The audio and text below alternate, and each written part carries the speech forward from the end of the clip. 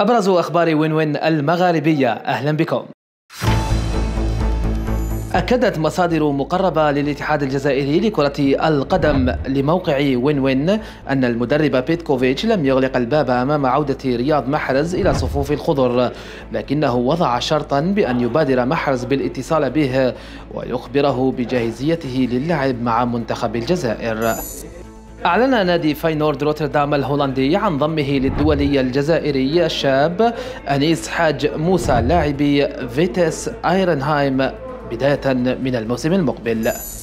أكد موقع فوت ميركاتو الفرنسي أن الأرقام والنتائج المتواضعة التي يحققها المدرب كريستوف غالتيه مع نادي الدحيل منذ إشرافه على الفريق في أكتوبر تشرين الأول الماضي ستدفع إدارة الفريق القطري للتخلي عن خدماته وتعويضه باسم تدريبي آخر والأقرب هو جمال بلماضي مدرب منتخب الجزائر السابق.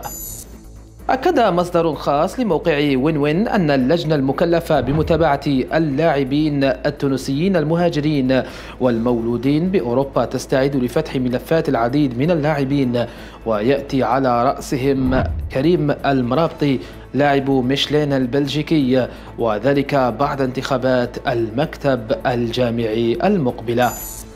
أكد النجم السابق للمنتخبي التونسي ونادي الترجي الرياضي التونسي زياد التلمساني في تصريح خاص لموقع وين وين اليوم الأربعاء نيته الترشح لرئاسة الاتحاد التونسي لكرة القدم عند فتح باب الانتخابات بالفترة المقبلة. وفي خبر آخر أكدت تقارير صحفية رواندية أن السلطات في كيغالي قد شرعت في التحقيق في ملابسات وفاة المعد البدني التونسي لفريق الجيش الرواندي عادل الزرن. أكد موقع هيسبريس أن الدولي المغربي سفيان أمرابط نجم نادي مانشستر يونايتد الإنجليزي سيغيب عن مواجهة أسود الأطلس أمام زامبيا في السابع من يونيو المقبل بعد طرده في مباراة جنوب أفريقيا بكأس أمم أفريقيا الأخيرة.